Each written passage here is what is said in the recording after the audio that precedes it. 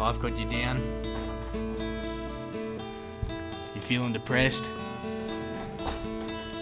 Life can be hard. You've been robbed at gunpoint lately. I know how you feel, mate.